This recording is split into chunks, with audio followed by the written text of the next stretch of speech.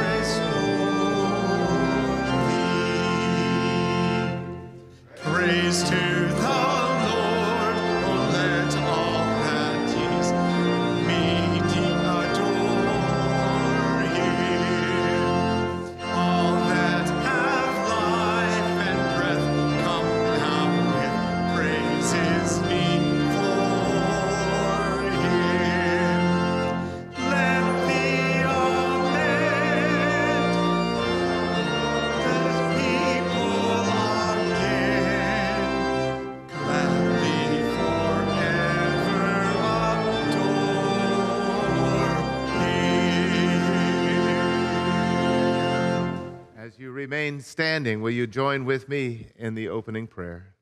Almighty and everlasting God, in whom we live and move and have our being, you created us for yourself so that our hearts are restless until they find rest in you. Grant, Grant to, us such, such piety, piety of, heart of heart, and strength, strength of, purpose, purpose, that, that no selfish passion may hinder us from knowing your will and no weakness from doing it. In your light may, may we see see life clearly, and in your service find perfect freedom. through Jesus, Christ, our Lord. Amen.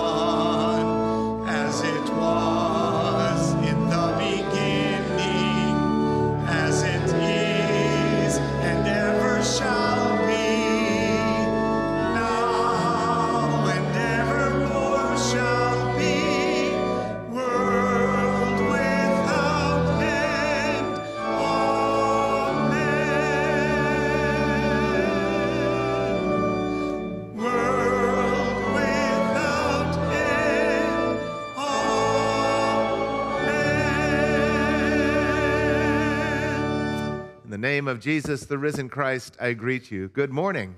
Good morning. Um, I see that our screens are not on this morning, so you're going to need to have your hymnals handy for this morning's worship uh, a little later on.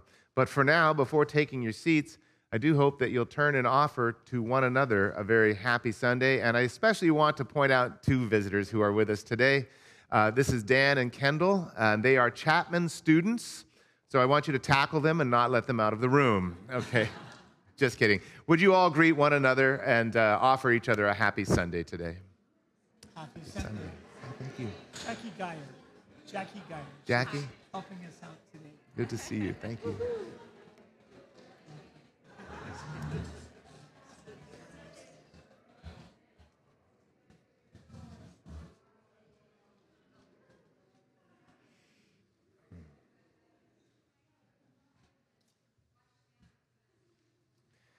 And again, a very happy Sunday to all of you. Thank you for the privilege of having this time to share together and worship the Lord. And a very special welcome to those who are joining us online. Uh, happy Sunday to all of you. We do hope that you'll take a moment to uh, uh, type your name in or say good morning in the chat feature right next to the online uh, part of our worship. But we are all together today to celebrate World Communion Sunday. This is a time when the whole body of Christ gathers around the world to um, affirm the unity of the body of Christ under Jesus, who is the head of the family. And so, this is a table today that Christ has set for all of us.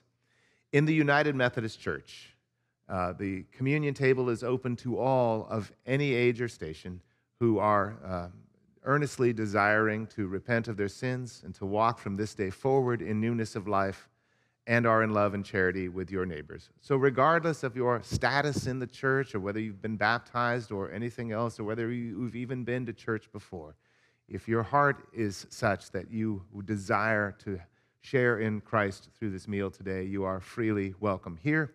One last reminder um, we, um, we use unfermented wine in the United Methodist Church in deference to those brothers and sisters who are in recovery, so all may be welcome here. I'll give you instructions for how to receive the communion a little later in the service, but for now, I want to remind you that our Parent Appreciation Week for the preschool is coming up um, starting on October 11th through the 15th. Um, that will be Parent Appreciation Week, and we still have a couple of slots for some of you who may want to get up early and come down and serve coffee or, or coffee cake to some of the parents on their way to work. We are so blessed, and it is such a privilege now to have these kids. We're working on almost 50 enrollment. When you consider where we started and have come through the pandemic right after we started, this is just a miraculous uh, uh, set of circumstances. And I got to tell you, chapel is more and more fun every week with these little guys so and girls. Uh, so um, if you have uh, uh, some weekday morning this week when you'd be available, Miss Sherry will be uh, out on the patio after worship today with her clipboard, and she will chase you down and get you signed up. Just want to have a chance for you to meet some of the remarkable parents who have entrusted us with their children uh, at, at the downtown Orange Preschool. Got it? All right. Well, we are here today to worship the Lord and to feast at his table. So as we center our hearts, let's prepare to hear the word of God.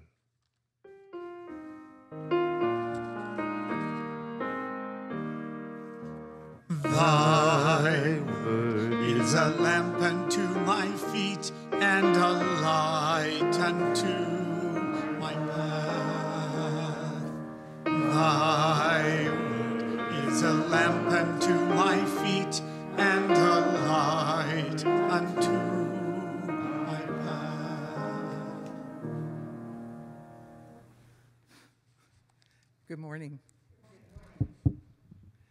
The responsive psalm this morning is Psalm 25. to you, O God, I lift up my soul. O my God, in you I trust. Let me not be put to shame. Let not my enemies exult over me. Let none that wait for you be put to shame. Let them be ashamed who are clothed with treachery. Make me to know your ways, O Lord. Teach me your paths. Lead me in your truth and teach me. For you are the God of my salvation. For you I will wait all the day long. Be mindful of your mercy, O Lord, and of your steadfast love, for they have been from old. Remember not the sins of my youth or my transgressions. According to your steadfast love, remember me for the sake of your goodness, O Lord. Good and upright is the Lord. Therefore, the Lord instructs sinners in the way and leads the humble in what is right and teaches them their way. All the paths of the Lord are steadfast love and faithfulness for those who keep the Lord's covenant and testimonies. And our gospel lesson, Mark 10 13 to 16, Jesus blesses little children. People were bringing little children to him in order that he might touch them. And the disciples spoke sternly to them. But when Jesus saw this, he was indignant and said to them, Let the little children come to me. Don't stop them. For it is to such as these that the kingdom of God belongs. Truly, I tell you, whoever does not receive the kingdom of God as a little child will never enter it.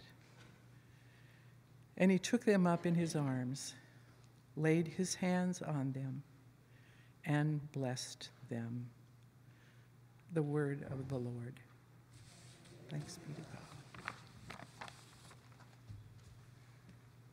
In response to the gospel lesson this morning, you are invited to uh, bring forward to our Lord your tithes and your offerings of love as the ushers wait upon us and as we receive this musical offertory. Since this is World Communion Sunday, we are doing a wild and crazy anthem.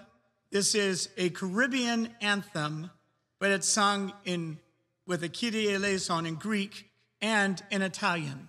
So let me just make sure you understand what we're saying. Kyrie eleison, Christe eleison, Kyrie eleison. Lord have mercy, Christ have mercy, Lord have mercy. Then in Italian, of course, in a Caribbean song, you would have Italian. Most high and glorious God, illuminate the darkness of my heart and grant an upright faith, perfect love, certain hope, profound humility, wisdom, and understanding. O Lord, that I might follow your holy and true commandment. So, Kyrie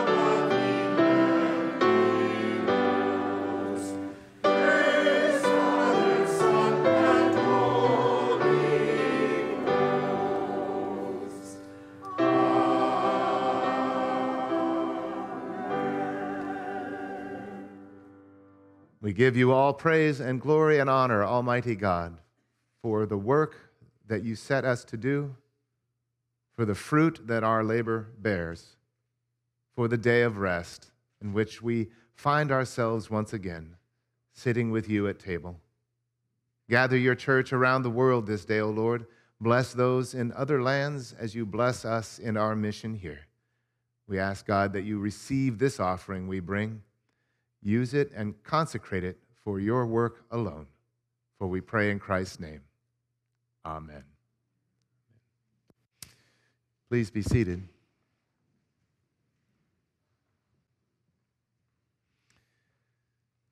And would you pray with me? Now, gracious God, may the words of my mouth and the meditation of all our hearts together be acceptable in your sight through Christ Jesus, our rock and our Redeemer. Amen. Remember the days when we could go to the amusement park and you could walk around and ride the rides? I hear they're coming back. Do you remember the drama that was always going on in front of the really good rides, the e ticket rides, when there was a little sign that said you have to be this tall to ride? And you'd see little kids with their feet trying to go up on their tiptoes and the ride operator saying no no no and then the then the tears would fall. Even at their youngest age children know what it's like to be excluded. They want to be included. In fact you may have picked up a theme as we closed down the summer and moved into the fall in all of the gospel passages as Mark has been leading us toward Jerusalem with Jesus, you may have picked up the theme that he keeps opening the eyes, opening the mouths of the silent, opening the eyes of the blind. This entire section begins with a healing of a blind man and then the healing of another blind man. And in that typical Markan inclusion that we talked about, what we find in the middle is these disciples who are having a harder and harder time seeing the kingdom of God right in front of them. The kingdom of God is all around us. We have the hardest time seeing it. And, and not just in our culture. Children are being excluded in our culture in all kinds of ways. Here, here's your iPad. Go play with it for a while. Leave us alone. It's happening.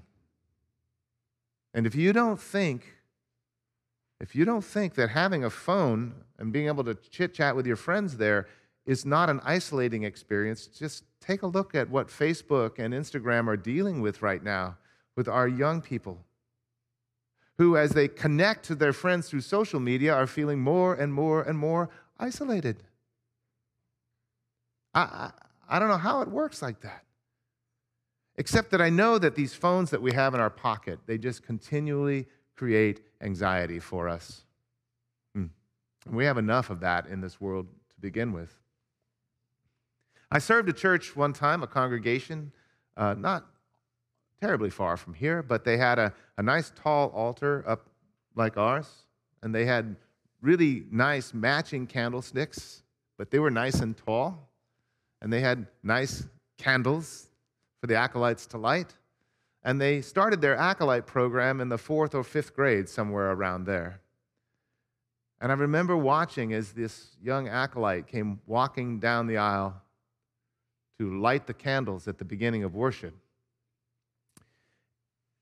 And she reached up, and the rook that she was holding wasn't tall enough. And she stretched on her toes, and it still wasn't tall enough. And She, she was crashing into the chaser, the little gold part under the flame, but she couldn't get the flame lit. And after a while, you heard this ripple go through the congregation as everyone started to snicker and laugh. And finally, her co acolyte went over and pulled the candlestick down and then put it back up so that she could light it. But I could see her face turning all shades of crimson. And I sat there indicting myself that day, saying, What kind of a pastor, what kind of a congregation invites their children to come know the Lord and then sets the fire so high that they can't reach it?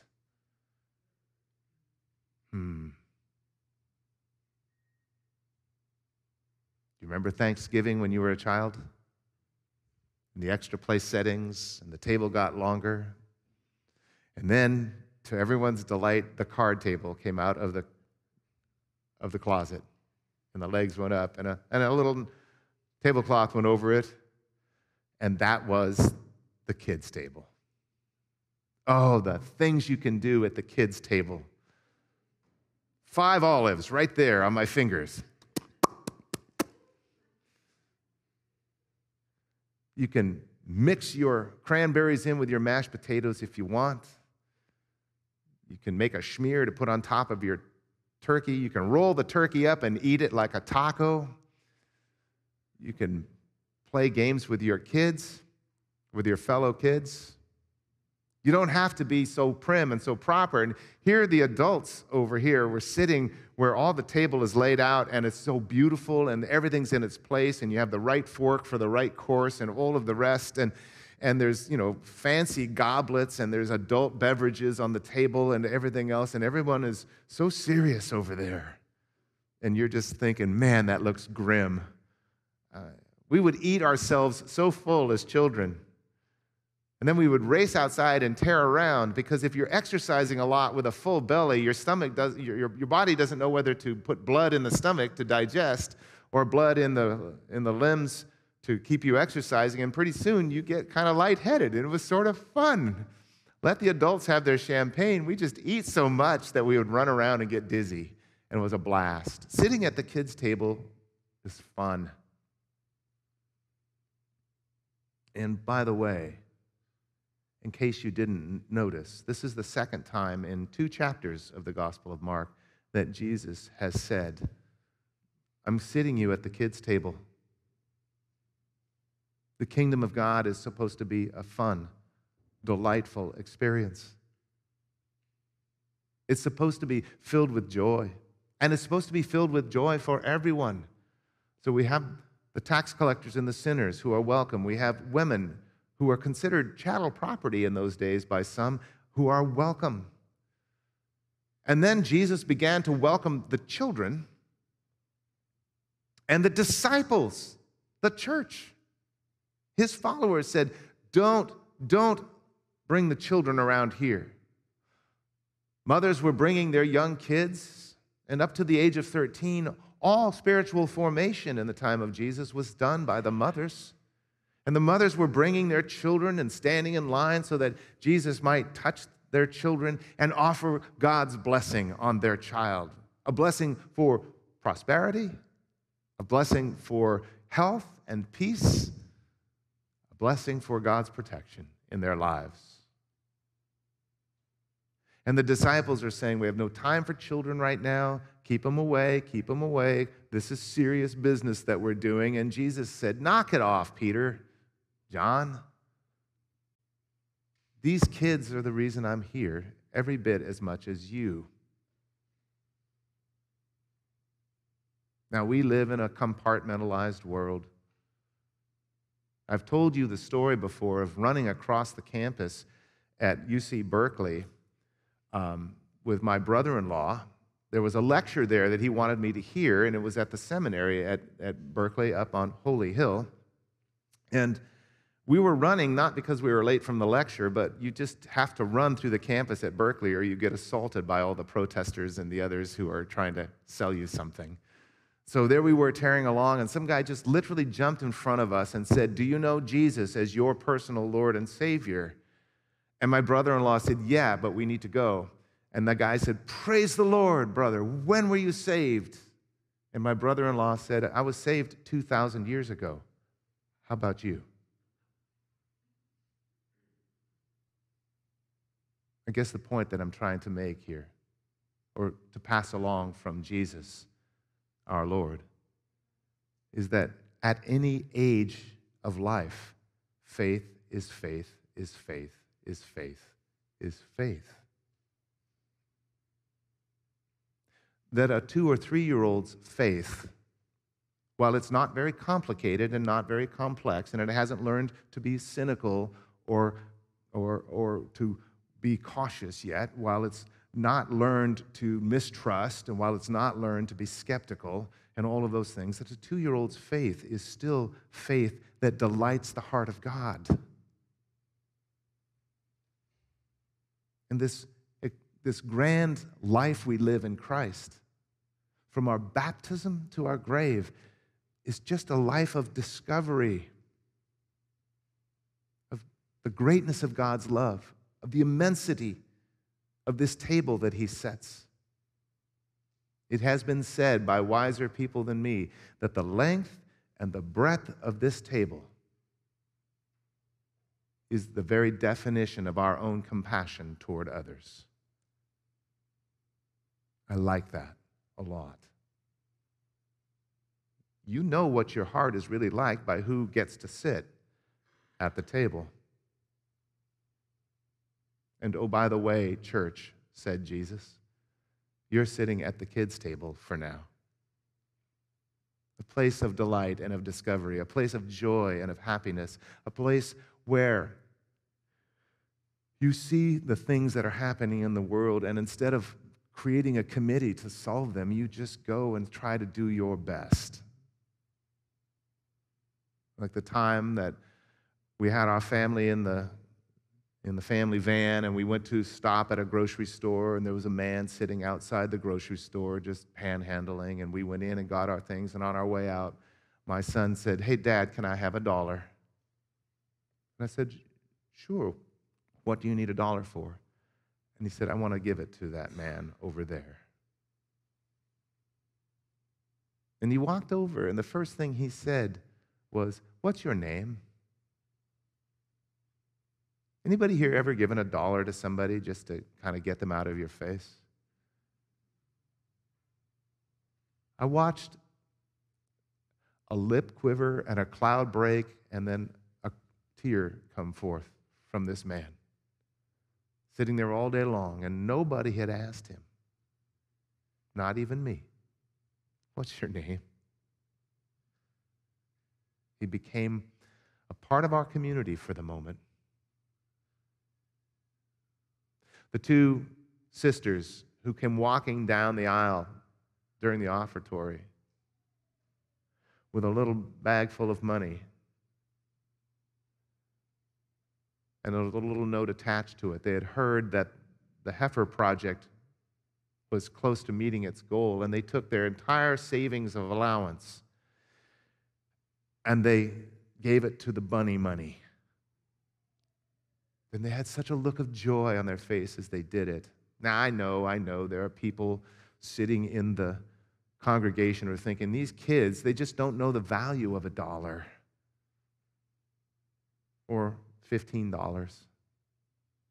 They don't know that if you put it in the bank, it'll compound interest, and in a few years it will have doubled itself, and then it will double itself again. And look how much money they can have at the end of their life if they just learn how hard it is to come by a dollar these days. But the kids aren't interested in that. There's people on the other side of the world who look like me, one of the girls said, but they don't have enough to eat. And if we give them some bunnies, they'll have more to eat. If we give them two bunnies, they'll have enough to eat for the rest of their life. They were enthralled with the notion that with the little that they could do, they could make such a difference. And so they got right about it. Kids live in the moment. And I think maybe this is what Jesus was really getting at. Not that they're vulnerable or trusting of everybody. We would never teach our children to just trust everyone, right? But they do know how to live in the moment. And they have this one trust that guides them through their life. They know that their mother and their father have enough that they can solve their kid sized problems, and there will be more later on. Now, church, how is it that we have come to the age that we are, and we don't believe that our Father has enough for us to meet the mission need of today and still have some for us tomorrow? Oh, Jesus said, Seek first the kingdom and God's righteousness, and all the rest will be yours as well sitting at the king at the kids' table. I'm not thinking, oh, thank God I have a four day weekend ahead of me, or thank God I don't have to commute tomorrow, or thank God, or whatever. You know, I'm just thinking, man, I'm so fortunate to live in this house. Look at this. This is so awesome. And today, there's no parents telling us to put a bone in our back or to sit up straight or to chew with our mouth closed or not to blow bubbles into my drink with my straw. There's nobody telling me. I can just say thank you to God the way I want to today. But that's what this meal really is. It's our Thanksgiving meal. It's our Passover. It's our reminder from God that when you make the fare that you're eating simple, even children can participate. And the fire is not set out of reach. And the bread and the cup, the body and blood of Jesus, are there to be shared. And then the greatest miracle of all, by the mystery of his Holy Spirit, as we kneel and we close our eyes, we feel the touch of God again. And no matter what they've been telling you on TV, it's not anger and it's not reproach, nor is it condemnation with which God touches us, but that beautiful, crystalline, light kiss on the cheek of our soul that just makes us giddy inside and full of life and laughter and love. We're sitting at the kids' table. You want to join me? Amen. Amen.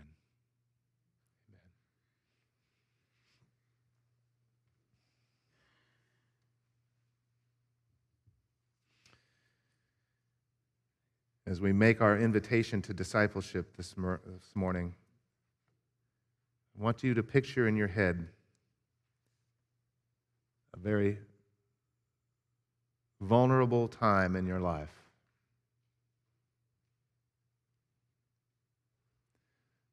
Think of what vulnerability looks like. And then think back on that time and how God's providence has brought you through. There was enough. It, it was nip and tuck for a while, but there was enough. And there is enough. And by the grace of God, there will be enough. And sometimes it requires that we select only a few narrow choices in our life, for the way is narrow that leads to life. Not many take it, but you have said to the Lord, I will follow you. And if you have not, this is the day to say it. I will follow you, Lord. I don't know where the path will lead, but I will follow you. And then, true to his word, he loves and sustains those who follow. And so, our first obligation in following Christ is to come to the table and eat a big meal so that we can be ready for all the work that is to come. You are making the journey from vulnerability and scarcity to abundance in Christ. If this is your heart's desire, then I invite you in the name of Jesus this day to join those who are walking with Christ and to make the commitment in your heart to serve Him. As we move to our prayer time, and especially our prayer of confession, I do want to share with you a couple of joys and concerns. Uh, mostly concerns today. We want to keep Wayne and Sandy Wilson in our prayers as they are making their journey. And um, Sandy is in uh, good spirits, and um, their son Todd is out visiting, and so we are grateful to God for that. Um, but just please keep them in your prayers as she moves through her hospice. Uh, there's a request from Neil and Ruth Davis for traveling mercies uh, as they are driving their motorhome to St. George, Utah to play two four day sessions of volleyball.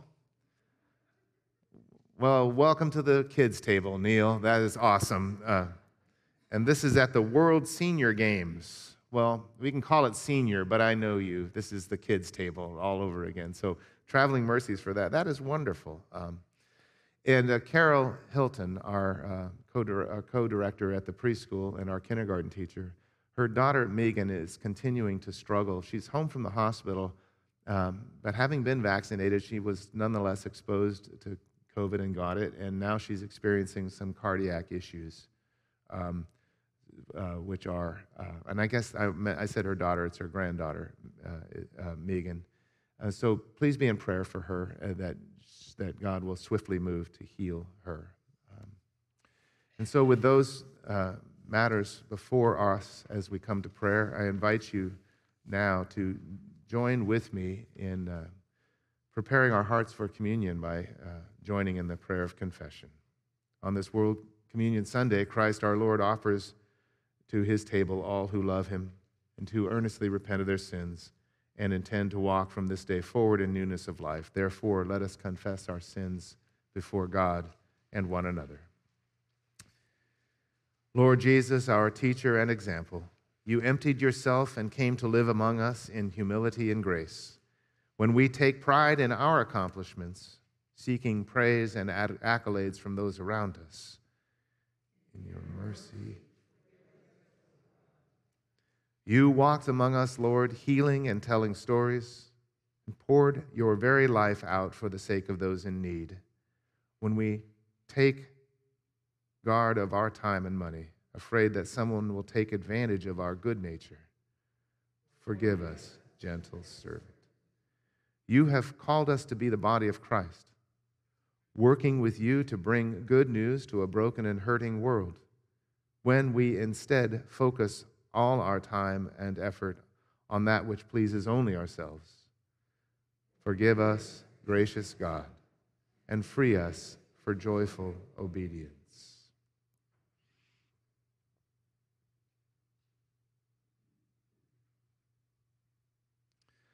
The Spirit of God works within us and around us and through us, giving water when we are thirsty, rest when we are weary, and mercy in all times and circumstances. In the name of Jesus Christ, you are forgiven.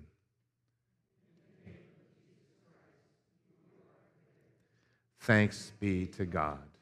I'm going to invite you now to stand and to be a priesthood of believers, offering to one another the peace of Christ. If you're not comfortable with uh, shaking a hand or a fist bump, you can simply uh, fold your arms across your chest and say, The peace of Christ be with you, and then return by saying, And also with you.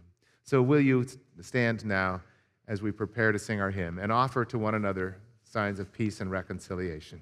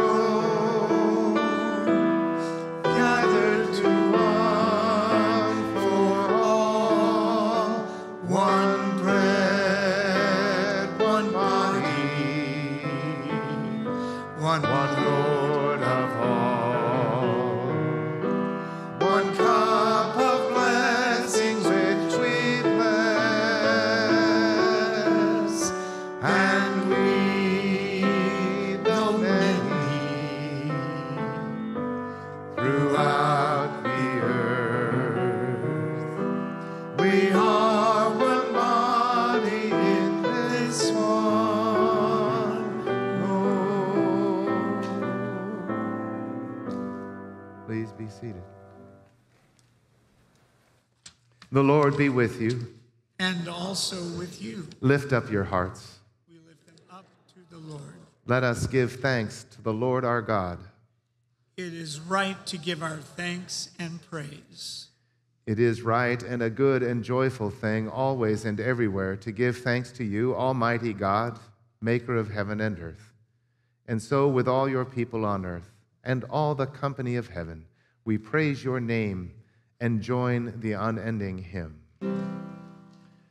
Holy, holy, holy Lord, God of power and might, heaven and earth are full of your glory. Hosanna in the highest. Blessed is he the name of the Lord. Hosanna in the highest. Holy are you, and blessed is your Son, Jesus Christ. The Lord of all life came to live among us. He healed and taught, ate with sinners, and won for you a new people by water and the Spirit. We saw his glory, and yet he humbled himself in obedience to your will, freely accepting death on a cross. By dying, he freed us from unending death, and by rising, he gave us everlasting life. On the night in which he was given up for us, he took bread and gave thanks to you, broke the bread, gave it to his disciples, and said, Take and eat. This is my body, which is given for you. Do this in remembrance of me. And when the supper was over, he took the cup, again returned thanks to you, and gave it to his disciples, and said, Drink from this, all of you.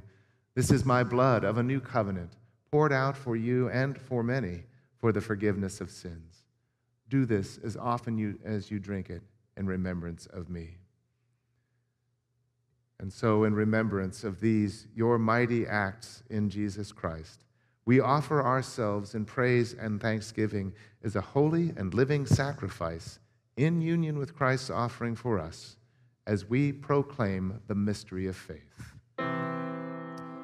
Christ has died, Christ is risen, Christ will come Pour out your Holy Spirit upon us gathered here and on these gifts of bread and cup. Make them be for us the body and blood of Christ, that we may be for the world the body of Christ, redeemed by his blood. By your Spirit, make us one with Christ and one with each other across the world, and one in service and witness to the world until Christ comes in final victory and we feast at his heavenly banquet. For through your Son, Jesus Christ, with the Holy Spirit in your holy church, all honor and glory is yours, Almighty God, now and forever.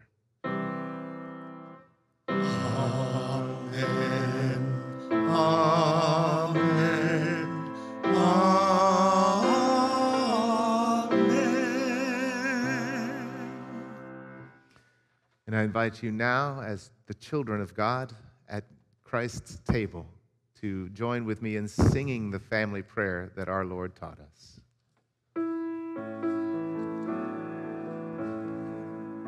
Our Father, in heaven,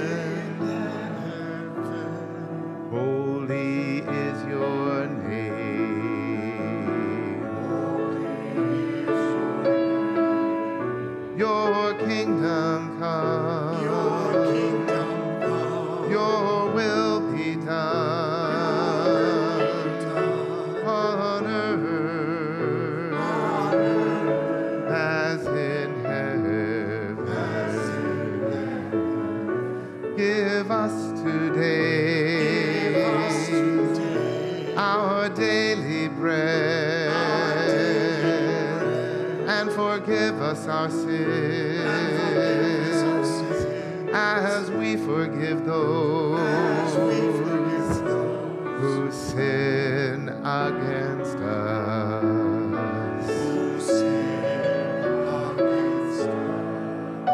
Save us from the time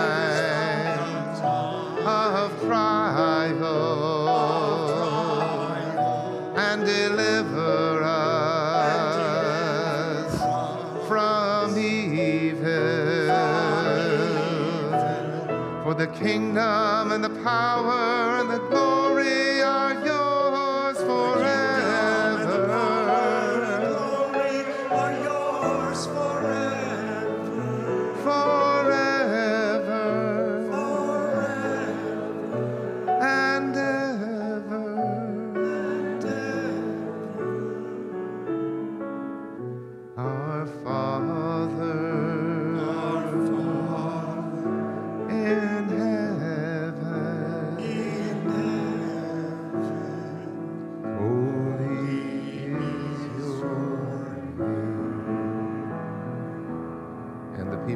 God said, Amen. Because there is one loaf, we, as many as we are around the world, are one body, for it is one loaf from which we all partake. When we break the bread, is it not a means of sharing in the body of Christ? And when we give thanks over the cup, is this not a means of sharing in the blood of Christ? There are so many things in this world that can feed our earthly appetites. This meal God has given to us so that we may nourish our souls as we make our pilgrim way, and so that we might have joy and laughter and joy again. So come now at Christ's invitation and feast on him in your heart with faith and with thanksgiving.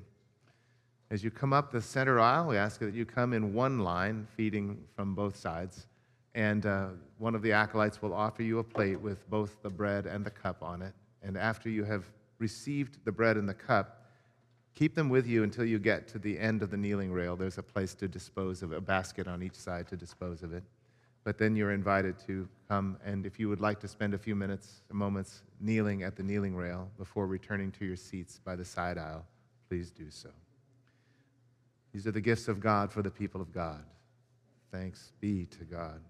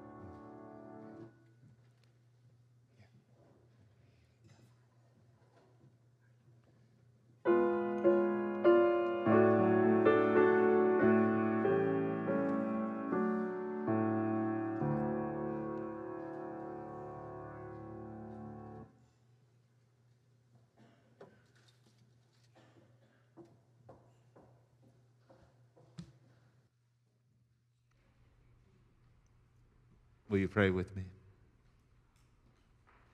We thank you, Almighty God, for this holy meal,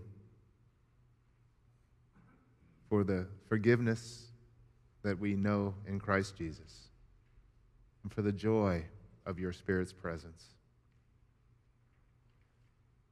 Your blood has made us a new people. So now, as a people of love, we will serve the world with joy as we serve you. So bless us as we rise from this table. Bind us closer and closer to those who are part of your holy family across the world.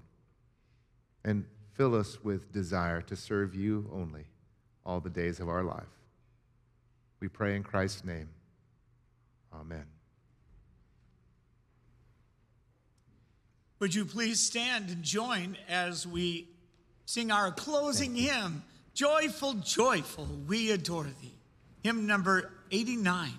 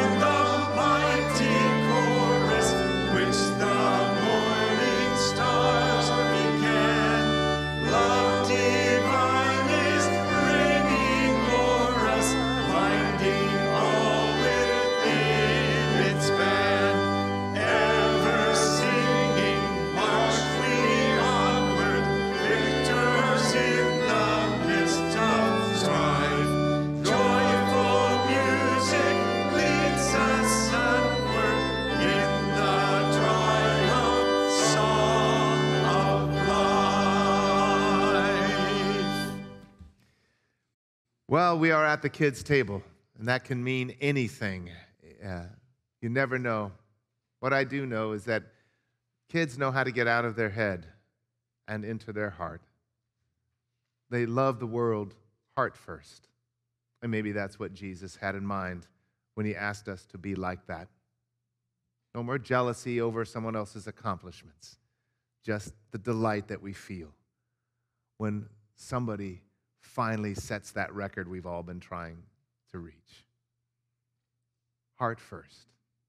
And above all else, We choose Christ we choose Christ. above all else. May the blessing of Almighty God, Father, Son, and Holy Spirit fill your hearts with peace and establish your homes in the grace and the love of God and grant you strength to find your way to the children's table and to remain there under the Lordship of Christ always. Amen. Amen.